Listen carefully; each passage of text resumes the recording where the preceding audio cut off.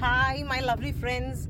So, we are on our way to work, and this is how we start our morning. So, good morning to all of you.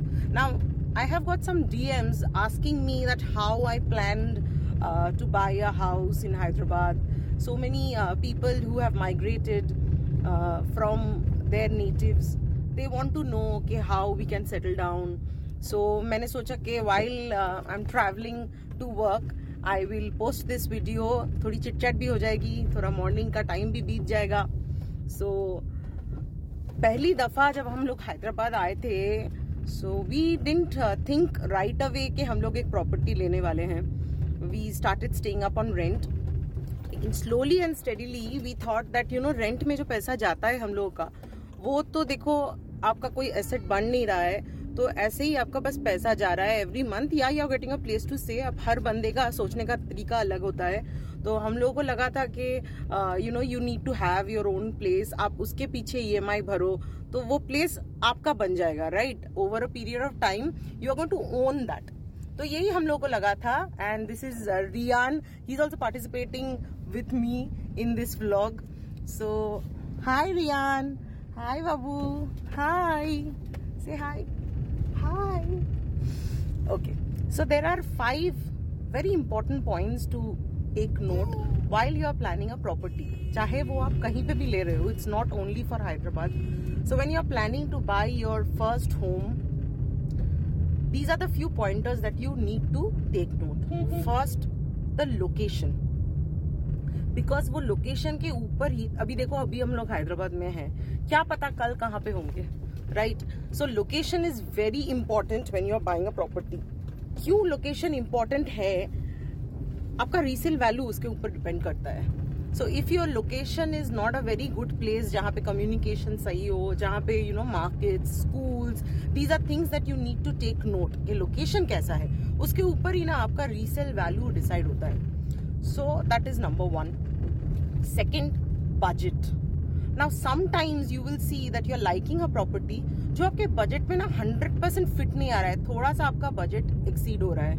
But that's okay you know over a period of time वो आपको adjust हो जाएगा। पहली एक दो महीने ना लगेगा, बाबा, कितना ई एम आई कट रहा है। सबको लगता है। हम लोगों को भी लगा था when initially we started paying E M I it felt like oh my god we are paying a huge chunk of our salaries लेकिन this is very mutual common feeling सबको लगता है। But over a period of time आपको लगेगा कि हाँ ठीक है ना, हम लोग जो पैसा दे रहे हैं it is for our own property we are building an asset so point two is budget budget कभी कभी आपका एक्सीड हो भी सकता है but that's okay you know over a period of time आपको लगेगा कि हाँ ठीक है because your salaries will also increase and there is no point in holding on to life for future कभी भी ना हम लोग का सैलरी और हम लोग का एक्सपेंसेस इक्वल नहीं होगा।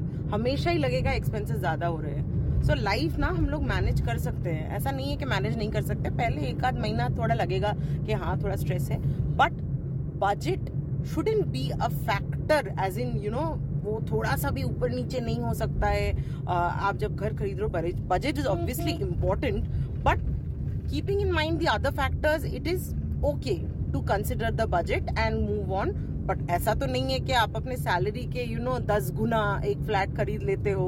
वो कैसे ई एम आई आप भरोगे it's it's obviously right it's it's insane तो थोड़ा सा बजट ऊपर नीचे हो भी जाता है but it's an important aspect to consider on when buying a property number three markets and availabilities क्या फैसिलिटीज़ है?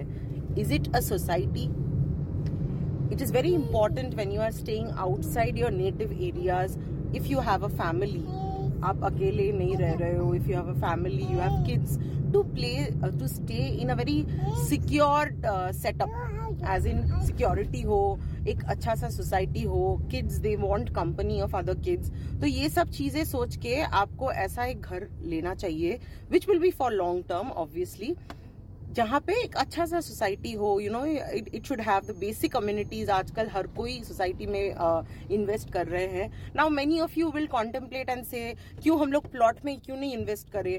हाँ प्लॉट में आप इन्वेस्ट कर ही सकते हो। Villa communities are very in लेकिन again the location bit because if you are investing जैसे हम ही लोग एक प्रॉपर्टी uh, देख रहे थे विच वॉज़ फार फेच्ड हाँ बहुत दूर में था तो communication wise it was not a very good decision So that's why we backed out and we chose this property which we are residing now.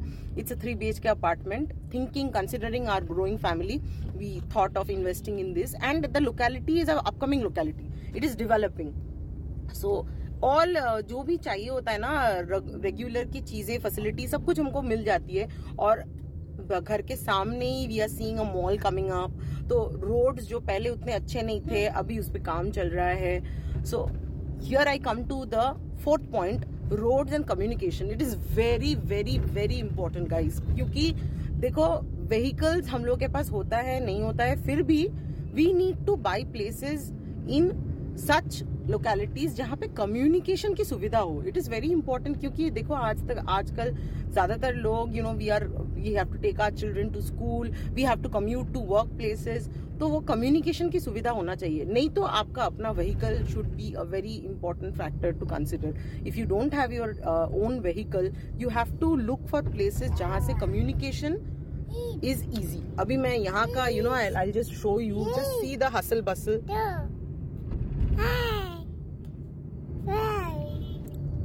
आप अगर देख सकते हैं just see the it's well maintained road there is moving traffic all यहाँ पे सारे stores जो भी आपको चाहिए you know all these availabilities are here तो वही सोच के हम लोगों ने इस लोकेलिटी में we chose an apartment now coming to the fifth and very very most important point is water क्योंकि हैदराबाद में ना देर आर मेनी लोकेलिटीज जहाँ पे पानी बहुत कम है you know there is scarcity of water so that was again a very important factor when we decided to buy a place कि वाटर हम लोग को सही से मिले, पानी should be available twenty four seven and the quality of the water तो हम लोग का जो पानी है, वहाँ पे the T D S was high so what we did we built a very good Aquaguard system ताकि हम लोगों को अच्छी पानी मिल सके so that our family we don't have any health issues regarding the water so yes these are the factors you should consider